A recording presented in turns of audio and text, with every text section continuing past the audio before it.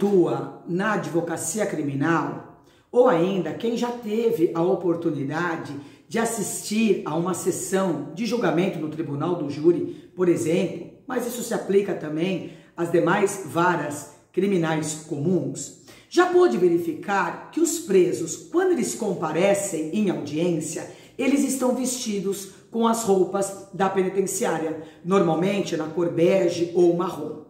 Mas será que o preso ele pode escolher com qual roupa ele vai comparecer à audiência ou ainda à sessão do seu julgamento perante o tribunal do júri? Eu sou a Fernanda Gonçalves, advogada criminalista e professora de processo penal e de direito penal, e quero conversar com vocês acerca de uma decisão da 13ª Câmara de Direito Criminal do Tribunal de Justiça aqui do estado de São Paulo, que permitiu que um homem preso comparecesse à sua sessão de julgamento pelo Tribunal do Júri em trajes civis, não usando dessa forma o seu uniforme de prisioneiro. Um dos maiores eh, desafios do advogado criminal é tentar impedir que seu cliente enfrente um julgamento já sendo previamente condenado.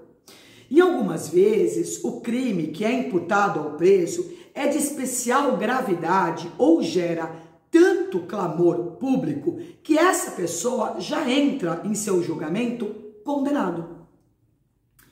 E um detalhe que colabora para essa visão negativa é o preso comparecer em seu julgamento com o uniforme de preso.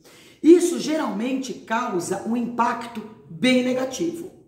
É interessante informar que o Conselho Nacional de Justiça, o nosso CNJ, fixou que as regras de Mandela podem e devem ser utilizadas como instrumento a serviço da justiça criminal.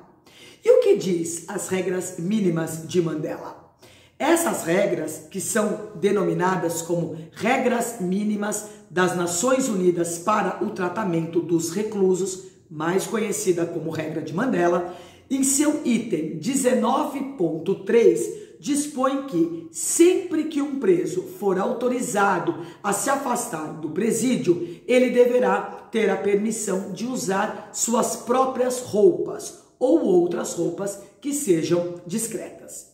O STJ, que é o Superior Tribunal de Justiça, já enfrentou essa matéria no julgamento do mandado de segurança 60575. No julgamento desse mandado de segurança, o ministro Ribeiro Lantas afirmou que, abre aspas, a par das algemas, tem-se nos uniformes prisionais outro símbolo da massa encarcerada brasileira sendo assim plausível a preocupação da defesa com as possíveis preconcepções que a imagem do réu com as vestes do presídio possa causar ao ânimo dos jurados leigos. Dito isso, vamos analisar o caso concreto como de costume. A defesa de um preso fez um requerimento para a vara criminal de Pindamonhangaba, que é no interior aqui do estado de São Paulo, para que o preso pudesse comparecer fazendo uso de suas vestimentas civis ao seu julgamento perante o tribunal do júri, tendo em vista que é direito do réu ser julgado sob uma perspectiva humanizada. Ocorre que o juiz não permitiu e fundamentou a sua decisão da seguinte forma: abre aspas. A utilização de uniforme da penitenciária ou roupas comuns, ao meu ver, não interfere no ânimo dos jurados, cabendo à defesa demonstrar eventual prejuízo concreto ao acusado na utilização do uniforme. E prosseguiu o magistrado quando da negativa do pedido.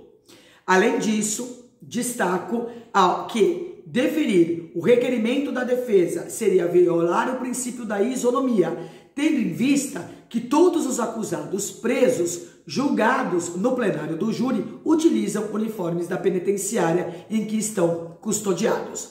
Ressalto ainda que a utilização de roupas civis pressuporia minuciosa revista antes do início da sessão plenária pelos agentes da escolta, que, no entanto, não possuem os aparelhos específicos para a, detectão, a detecção de metais, etc. A defesa do preso não se conformou com essa decisão e impetrou um habeas corpus perante o TJ de São Paulo, que concordou com o pedido. O relator do caso, o desembargador Marcelo Gordo, citou a decisão do STJ e as regras de Mandela e decidiu, abre aspas, assim, para que não ocorra nenhum prejuízo à violação dos princípios constitucionais, deve ser o paciente autorizado a se apresentar perante a sessão plenária do Tribunal do Júri com trajes civis, evitando-se, assim, prejuízos de qualquer natureza. O desembargador ressaltou ainda que a roupa civil não dificulta de forma alguma a revista policial. Para quem tiver interesse em conferir essa decisão, basta acessar os autos do habeas corpus 22 35 984 27.2023.